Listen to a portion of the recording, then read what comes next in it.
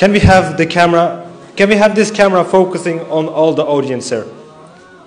Can we have this camera focusing on all the audience?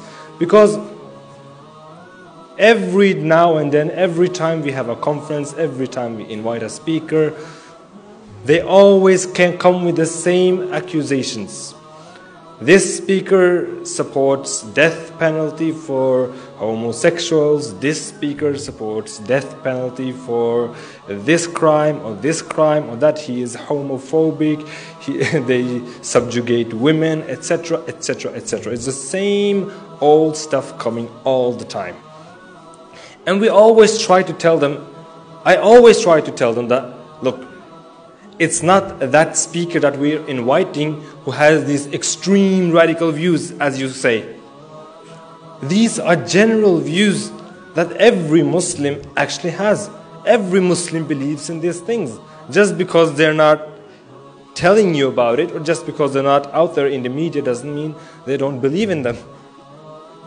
So I will ask you, everyone in the room, how many of you are normal Muslims, you're not extremists, you're not radical, This is normal Sunni Muslims. Please raise your hands.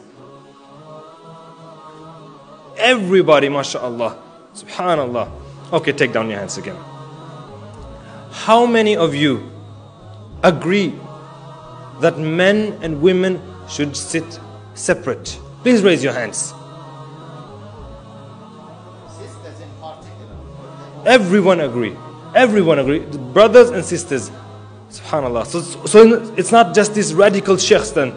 Allahu Akbar. Next question. How many of you agree that the punishments described in the Quran and the Sunnah, whether it is death, whether it is stoning for adultery, whatever it is, if it is from Allah and His Messenger, that is the best punishment ever possible for humankind. And that is what we should apply in the world. Who, who agrees with that?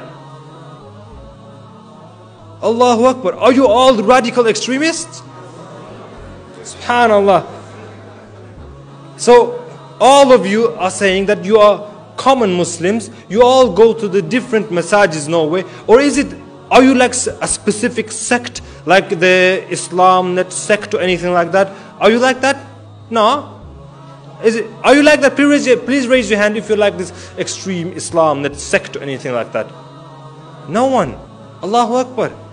How many of you just go to these normal mas masajids in Norway, every, the normal Sunni mosques? Please raise your hands. Allahu Akbar. So what's, what's the politicians gonna say now? What's the media gonna say now? That we're all extremists? We're all radicals. We need to deport all of us from this country. Subhanallah.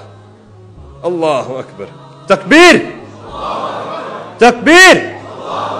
Takbir. The, the, the answer is very simple Islam is the truth, and Christianity and Judaism are not the truth.